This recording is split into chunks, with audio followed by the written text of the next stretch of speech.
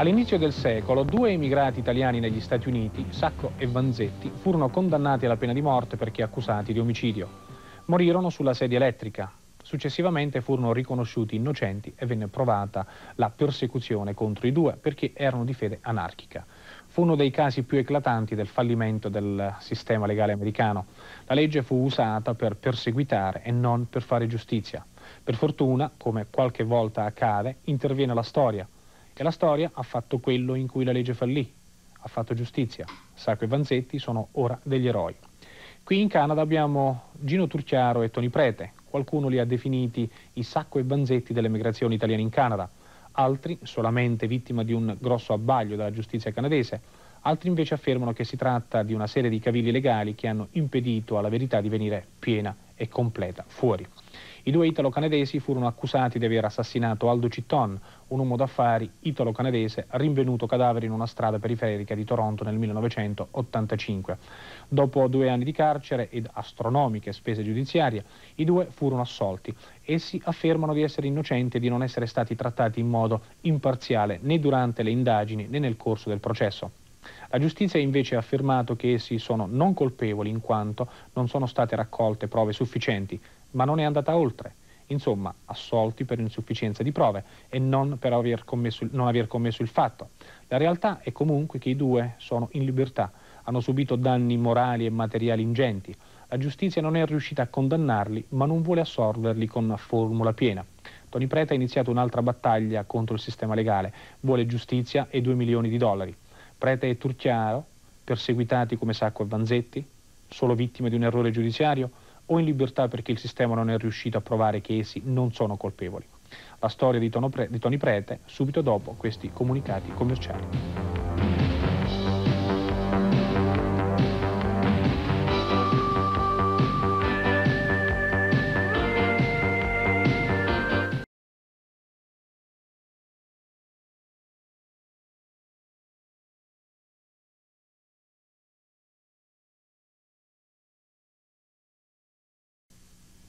La vicenda di Tony Prete è stata al centro dell'attenzione della stampa italo-canadese di lingua inglese per molti anni e in base agli ultimi sviluppi è destinata a rimanerci per molto tempo. Vediamo di cosa si tratta in questo servizio preparato in cooperazione con la redazione di Telesera. Il cadavere fu rinvenuto in questa strada, una traversa di Atwell Avenue a Toronto il 19 luglio del 1985. Aldo Citton aveva due colpi di arma da fuoco alla testa, fu visto vivo per l'ultima volta in questa abitazione nei pressi di Lawrence Avenue. Era l'abitazione di Tony Prete, suo intimo amico, che fu accusato sette mesi dopo del delitto insieme al cognato Gino Turchiaro. Essi furono arrestati il 7 febbraio dell'86, una lunga vicenda giudiziaria molto controversa. Prete e Turchiaro, detenuti al West Detention Center, fecero immediatamente domanda per ottenere la libertà provvisoria e fu negata. La richiesta di libertà provvisoria fu respinta e Prete afferma che le dichiarazioni della polizia non erano giustificate ed erano offensive verso l'intera comunità italo-canadese. Il 2 luglio dell'86 ci fu l'inchiesta preliminare. Alla fine Prete e Turchiaro furono scagionati e liberati. La polizia non fu soddisfatta e fece ricorso ad un procedimento non molto usato dalla magistratura, il Preferred Indictment. Si tratta di un procedimento al quale si fa ricorso molto raramente e, secondo la difesa di Prete Turchiaro, non era assolutamente giustificato. I due furono comunque di nuovo arrestati. Prete parla di discriminazione e di persecuzione da parte della polizia. L'ufficio dell'Attorney General dice invece di procedimento regolare in quanto nel corso dell'inchiesta preliminare si parla di sufficienza di prove o meno e non di innocenza o colpevolezza. Prete e Turchiaro di nuovo arrestati il 23 gennaio dell'87. Di nuovo viene respinta la richiesta di libertà provvisoria. Anche questa decisione suscitò molto scalpore. Il processo inizia nel febbraio dell'88. Ancora una volta Prete e Turchiaro furono assolti per insufficienza di prove. Nel corso del processo, ovvero dei vari processi, sono state sollevate numerose polemiche. Qualcuno ha parlato anche di discriminazione. La stampa si è già interessata molto spesso di questa vicenda.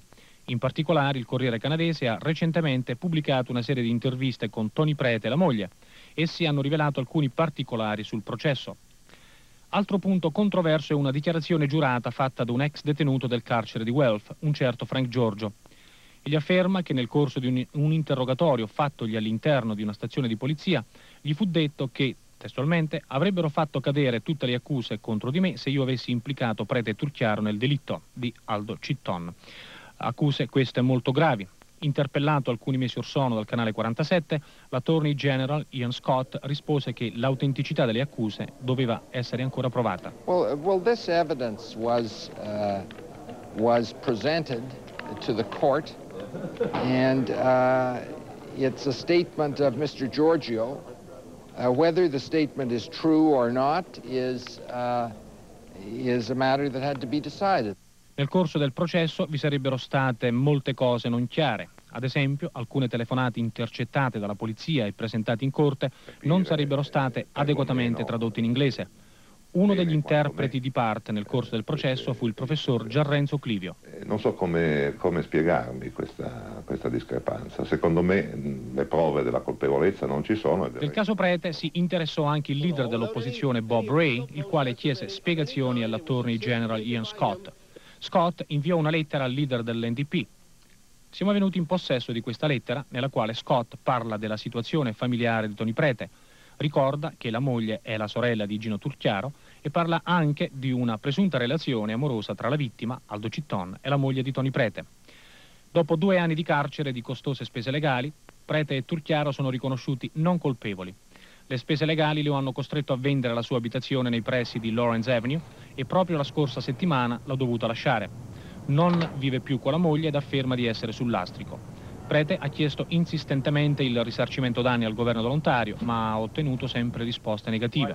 L'avvocato Richard Stern, che ha assistito Prete durante tutta la vicenda penale, esprime le sue perplessità. that someone would look at his situation and treat him the very same as he would be treated if he, if he was a white Anglo-Saxon Protestant. And uh, as we know, uh, there was a situation not long ago when a white Anglo-Saxon Protestant was in, this, in a similar situation as Mr. Prete. We're ta I'm talking about Susan Nellis, and she received some compensation from the Attorney General.